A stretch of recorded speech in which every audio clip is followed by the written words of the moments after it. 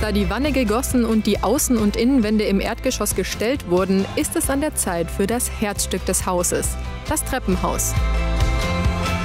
Die massive Treppe hat diese Stützfunktion, die sehr wichtig ist für diese betonierte Decke, die wir dann haben werden. Wir haben auch Holzsäulen äh, vorm Haus, die auch eine stützende, teilweise eine stützende Funktion haben. Und diese Kombi ist eigentlich so spannend und schön. Und es wird auch viel Sichtbeton bleiben, ähm, weil uns wichtig war, auch das Material sehen zu dürfen, zu greifen, sich da drin zu bewegen und das alles ein bisschen kennenlernen zu dürfen. Herausforderung bei der Treppe, sie ist rund und aus Beton. Die Treppen sind von einem Fertighersteller in Norddeutschland geliefert worden, dem einzigen in ganz Deutschland. Vorteile der massiven Betontreppe, keine Probleme vom Brandschutz her und optimaler Schallschutz. Das Einsetzen der einzelnen Treppenabschnitte ist aufwendig. Wir betonieren ja die Etage für Etage von den Wänden und dann auch immer die Treppenpodeste. Und immer wenn ein, eine Etage fertiggestellt ist, wird ein äh, Fertigteil-Treppensegment eingesetzt.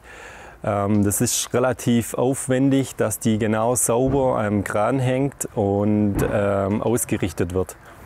Zudem müssen wir dann auch immer darauf achten, dass die äh, Drittschallauflager sauber sitzen, damit äh, da keine Schallübertragungen später mal stattfinden. Den Pollmeyers war wichtig, im Treppenhaus kein Engegefühl zu haben. Innen wird die Treppe hohl sein und keinen Kern haben. Ein passendes Lichtkonzept soll das Treppenhaus gemütlicher machen. Für uns war es wichtig, alle Geschosse miteinander zu vereinen. Wir haben ja gesagt, zu äh, arbeiten und wohnen zusammen und leben. Und es war uns auch wichtig, dass das irgendwie in diesem Treppenhaus auch äh, zum Tragen kommt. Also man kommt irgendwie durchs Treppenhaus überall irgendwo hin, äh, auch wenn es vielleicht mal verwinkelt ist oder durch eine Tür getrennt. Und das fanden wir schön. Und die Tatsache, dass es rund ist, dass es nicht einfach als Fremdkörper im Raum steht, sondern sich so schön einfügt und man drumherum laufen kann. Und das ist eben in allen Geschossen so, von, vom Keller bis zum Dachgeschoss.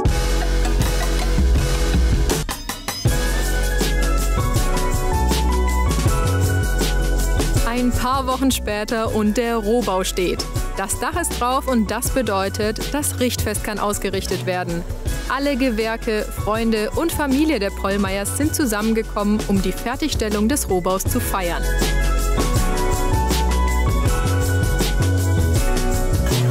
Es ist einfach Freude.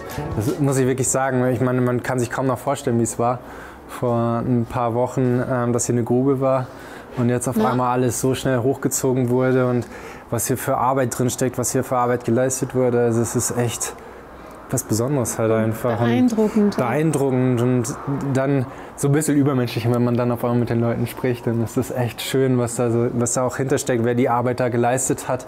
Deswegen finde ich es auch schön, so ein Richtfest zu machen und dann die Leute einfach nochmal anders kennenzulernen.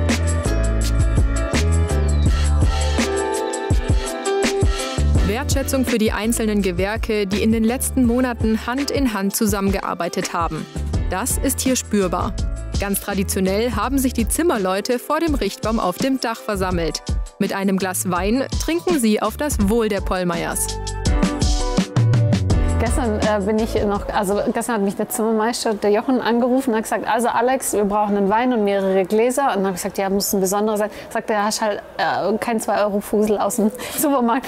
Da bin ich erstmal mit Arbeitshose in, in, ins Weingeschäft in Laubheim gefahren, bin reingelatscht in meinen schmutzigen Stiefeln und habe gesagt, ich brauche einen gescheiten Wein. Morgen ist Richtfest, ich brauche irgendeinen feierlichen Wein. Und diese, äh, was für einen feierlichen Wein?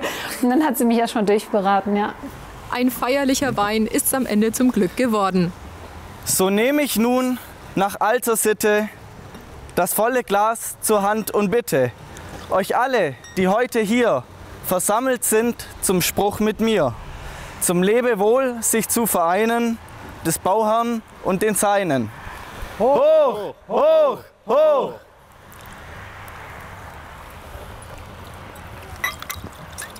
Wie mundet der Wein, Kamerad, schenk ein. Am Ende des Richtspruchs werden die Gläser vom Dach geworfen. Wenn sie am Boden zerspringen, wird alles gut. Wenn sie aber heil bleiben, gilt das als schlechtes Omen. Hoch, hoch, hoch!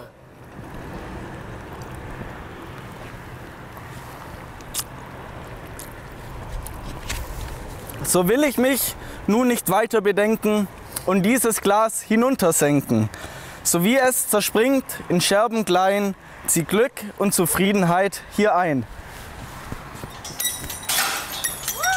Dankeschön. Dankeschön. Alles nochmal gut gegangen. Dem Glück der Pollmeyers steht nun nichts mehr im Weg.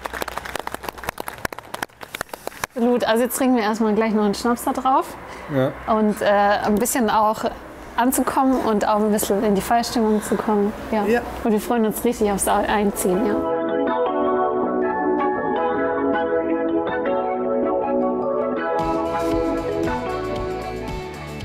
Hey liebe User, wenn euch unser Beitrag gefallen hat, dann lasst uns ein Gefällt mir da und abonniert bitte unseren Kanal. Und wenn ihr Fragen oder Anregungen oder auch Vorschläge habt, dann einfach kräftig kommentieren.